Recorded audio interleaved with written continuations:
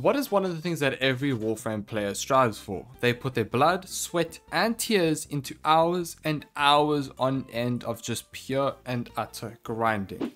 Level cap. Yes, that is the true end game of Warframe. You get to level cap and it's just like... What's next? Now come along with me and let's talk about the top 3 frames that make level cap super easy. Number 1, Revenant Prime. Yes, of course Revy Boy will be on this list. He is unequivocally and utterly invulnerable and plus he is the latest primed frame at the moment, so he is quite easy to obtain. Nice. Okay, so let's talk about him. Firstly, here is the build that I have designed. You want to go for quite a bit of strength and a bit of duration. Now, I have made two variants of this, one with Blind Rage, one without. If you have Arcane Energize, go with the one with Blind Rage because you have better energy sustain. If you don't have Arcane Energize, go with the one without. He still works fine either way. Now, how to play Revenant. It's simple. He works as follows. Press 1 to make minions. Those minions then make other enemies your minions. And sit back and watch your army grow. Press 2 for invulnerability, basically these charges that you get from your second ability keep you invulnerable and as you take damage you will burn through these charges but you can just keep recasting and you can be good to go. You will stay invulnerable and also you are immune to knockback, which is really good. This is a long animation for this ability. That is why we use natural talent. Press 3 to cast enemies and sap their life away. This damage is enhanced for enthralled enemies. Now pair your 1 and 3 combined to do a metric ton of damage against level cap enemies and also Thraxes as well. It's a super easy way to kill level cap enemies. Now his fourth well, it's not that great on level cap. So if you can subsume over Roar, Roar is the best option here because that pairs with your third ability and makes your third ability do more damage. Or you can use Xata's Whisper, or you can use armor stripping abilities, or you can use Gloom. You choose what you want here. It's your game. Great. Revy Boy done. Number two, Ash Prime. I'm gonna say Ash because, well, he is the ninja of Warframe and he is very strong.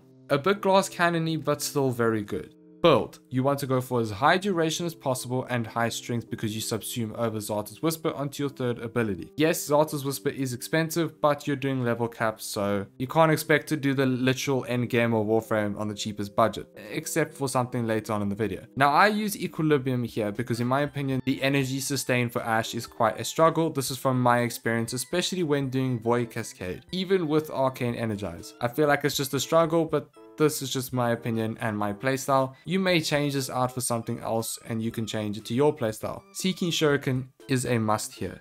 For armor stripping, you absolutely need it. And I go handspring because I'm, I'm so good at this.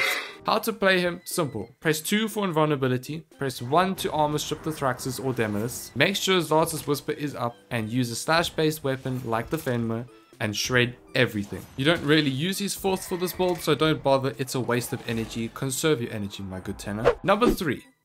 Take a guess. Guess what it is. I'm going to give you two seconds. Well, you know the answer. It's Octavia Prime. Yes, the strongest frame in the game that no one plays. And that is a 100% correct true fact. She is the infinite damage scaling frame and here is her build. Now, this is a pretty expensive build because I have Shuriken subsumed, but Ash is a lot easier to farm nowadays, to be fair. But this build here is designed for you to solo level cap Void Cascade on Steel Path. Yes, it takes quite a bit of investment, but however, you don't need the Shuriken Subsume, because quite frankly, Octavia is so freaking strong, you don't need to use any Subsume, you can just use her normal kit, it works perfectly fine. Otherwise, you can armor strip with Tharros Strike, please do not use Terrify, otherwise you're literally contradicting yourself, because then you will not be able to scale off your one, because the enemies will not shoot your first ability, and that's where Octavia gets all of her damage from. In fact, Octavia is so strong that you actually need to only put like one or two Forma, and she's good to to do level cap. How to play her simple. Press 1, 2 and 3 and break your fingers while you smash the control button and you acquire the carpal tunnel. Stay in Viz and just watch everything die. Great. Now you have everything you need to do level cap. But wait, there's more. Let's just go over very quickly everything you need to do to equip yourself to do level cap comfortably. Firstly, the frames that I mentioned are great picks. However, you don't need to actually pick these exact frames. There are many frames out there that can go to level cap no problem with the right team and right synergies. But let's go over stuff that you need to use for yourself. Any way of armor stripping is absolutely needed. It will make your life infinitely easier. Armor stripping makes level cap an absolute joke.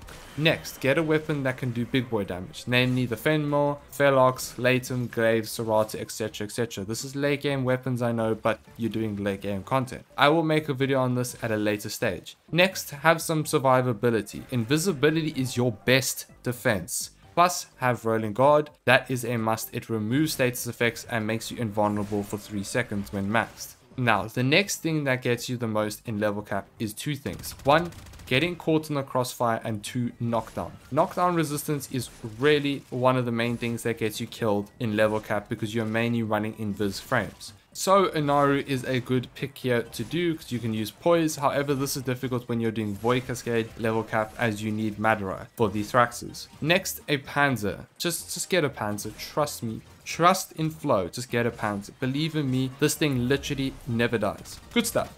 This is a brief overview of what you need and I will elaborate this on a future video. Now do me and yourself a favor and hit that subscribe button and like the video, it really helps the channel out. Goodbye my fellow Tenno, I shall see you soon.